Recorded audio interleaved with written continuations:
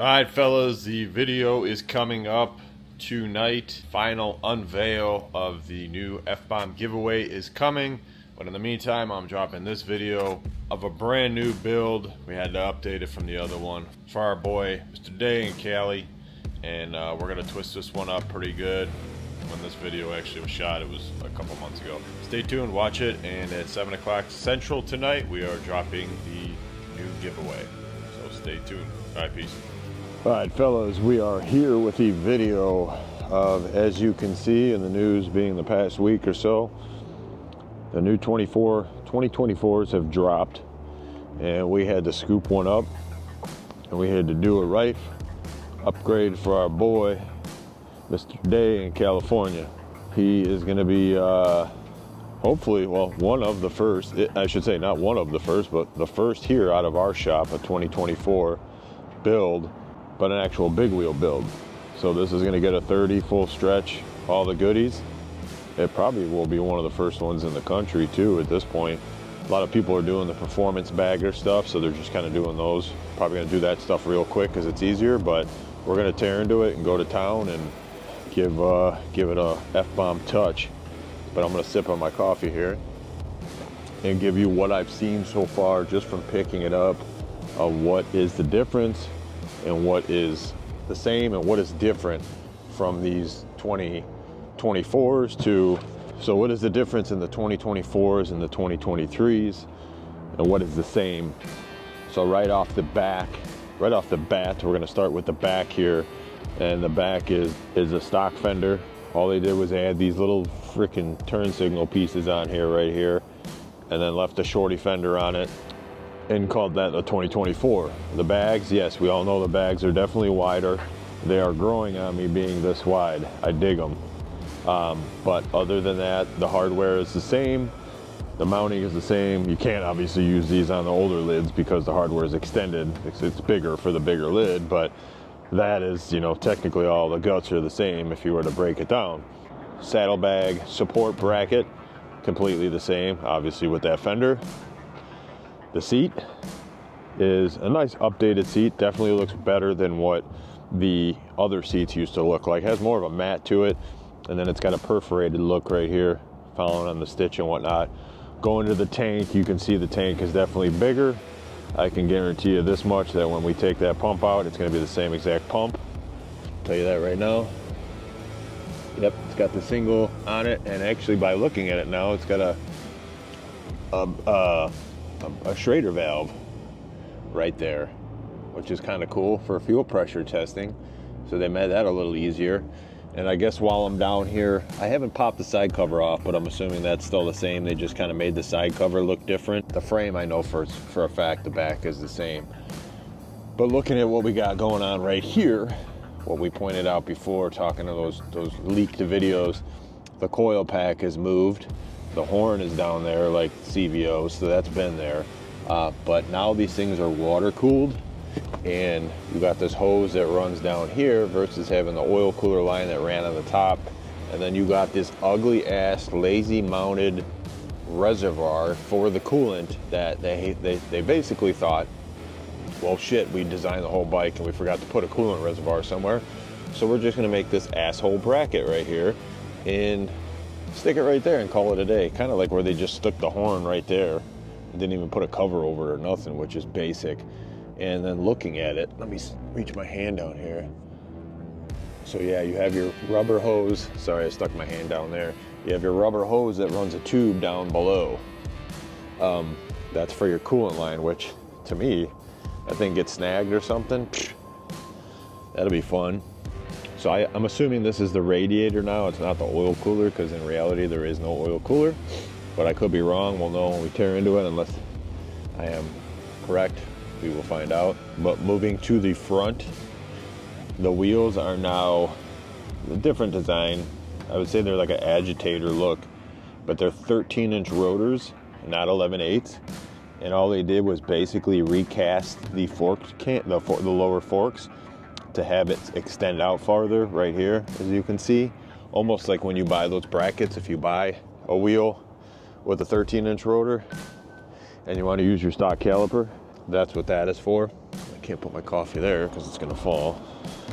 Moving over to the now show side, they call it. You can see right off the bat, they got a big old honky air cleaner on here. That's because the throttle body is now turned sideways. I know that from seeing the pictures. Uh, this has the VVT, which is variable valve timing. If you're not aware of that, it basically allows your cam.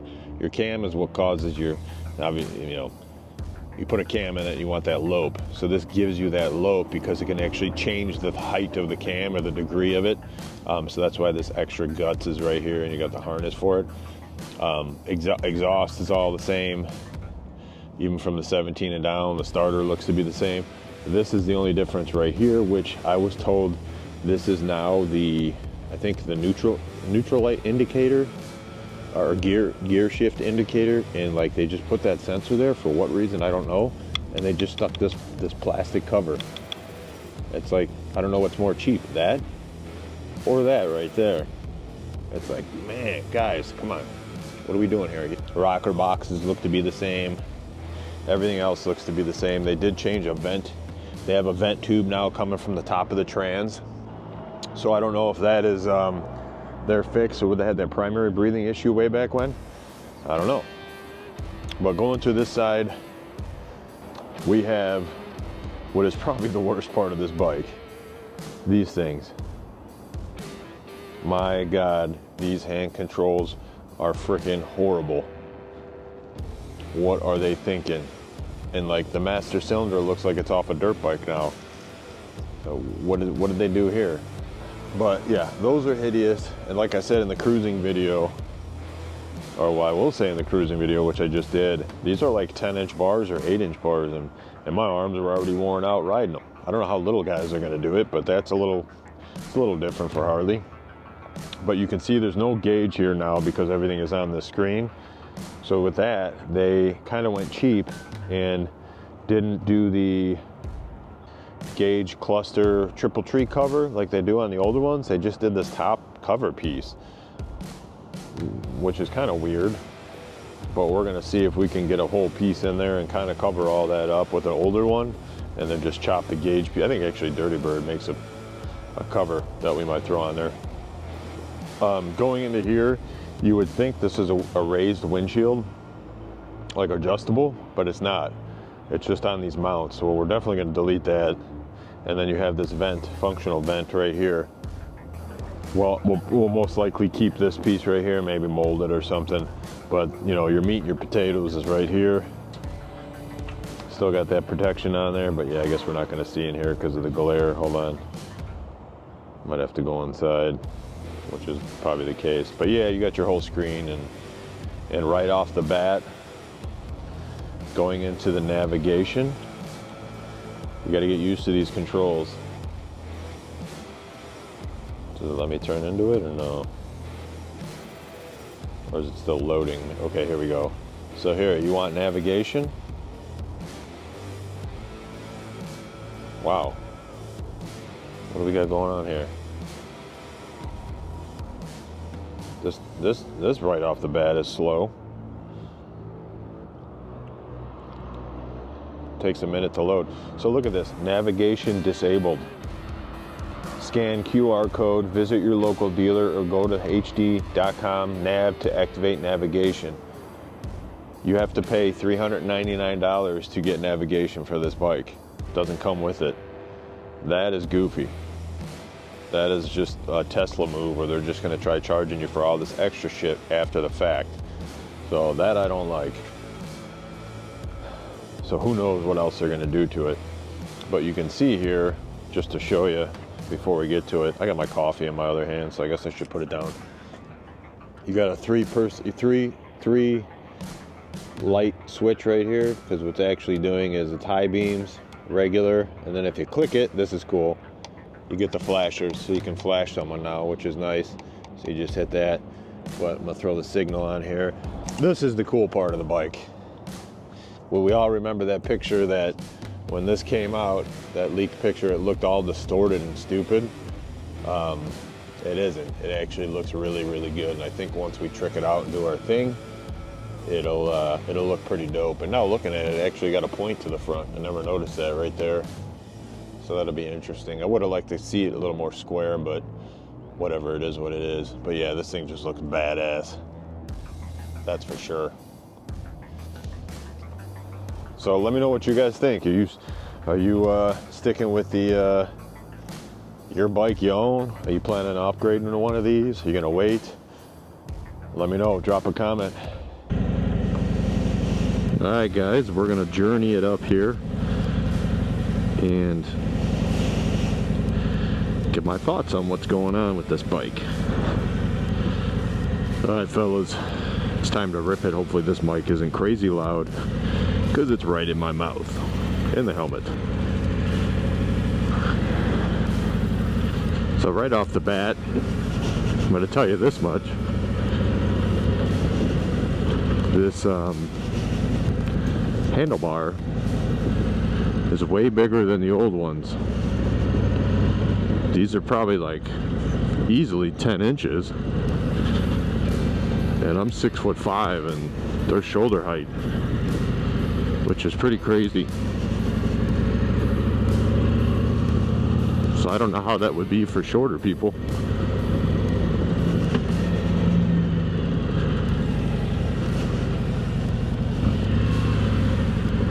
But we're on our way here. The screen is cool. I'm gonna have to screw with it. See how uh, the different settings are.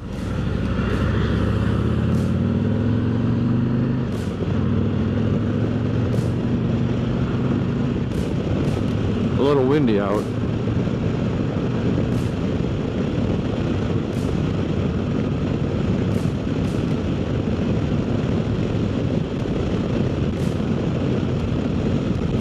Riding in sixth gear, 61 mile an hour. Gonna hang this right, leaning it low, not too shabby. It's only got 11 miles on it, so it is brand new. I don't know that this uh, interfering or this fairing vent is doing too much. We're cruising at 76, which I honestly don't think we're doing 76. Seems like the speedo is way off. I always notice the speedos on the Harley Davidsons are way, way off. Should put my GPS on my phone, see what it actually is doing. See how she rips here.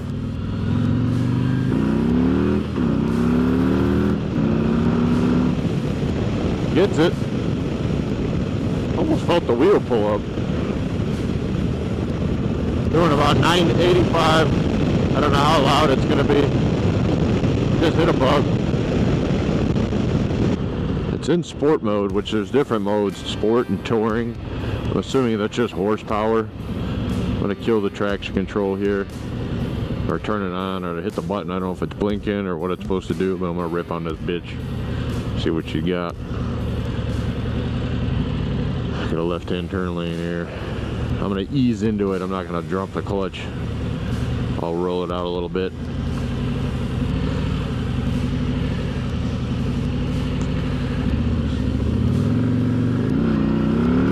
Pulled the wheel. Hold the wheel in second too.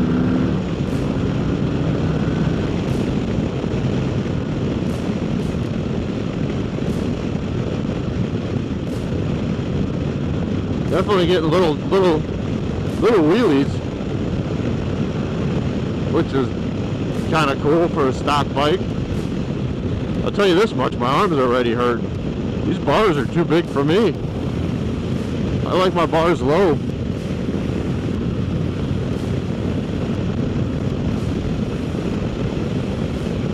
Good old bumpy Joliet roads.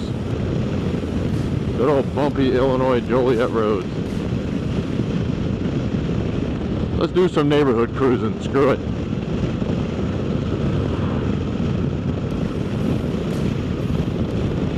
I've already forgot how to do the, is it mode? It's not mode. Oh, that's, there's mode. There's a rain mode too. But I've already forgot, there it is, this one. How to change these screens. And, and, and, and here's the other thing. How do I switch out of this one over here? You want to hear something funny? You got to pay $399 to activate the navigation. That is not included. You can't even see the map right now. All it shows is a, a QR code and it says scan QR navigation disabled. Scan QR code, visit your local dealer or go to hd.com slash nav uh, to activate navigation. So they're trying to pull a Tesla here and and make you pay for all this extra stuff. So yeah, okay, all the bikes are going to be cheaper in the long run, but yeah, if you got to pay extra in the future or after, how is that any different? I mean, there's literally nothing you can change. It just shows the gauges and and then this middle box where the navigation should be. It's just a stupid QR code. I still can't get over these hand controls though. It's like, guys, that you could have could have made them a little smaller. My lord. Was this like a rush job or what? Or did they take them from Indian? Because I want to say they look like Indians. Oh. But I don't know. We're going to tear into it. Be one of the first big wheels. Kind of do our little thing. It's going to be a learning process for the outer fairing and the inner fairing and that stupid water cooler.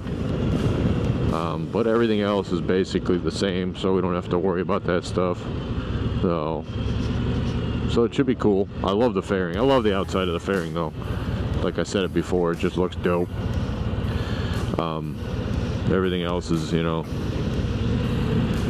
a little bland here and there, and some of the factory stuff. At least they did the fairing right. Rear fender, that's just a lazy slap slap on no redesign. Everything else is the same as the 23s, 22s, the floorboards, the exhaust.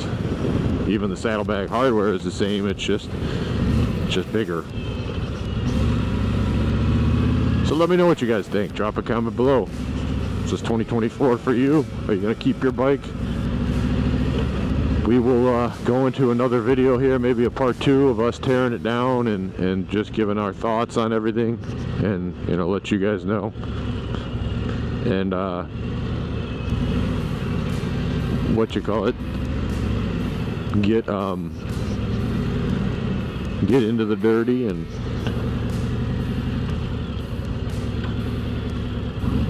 get into the dirty and let and see what's all up in this bitch.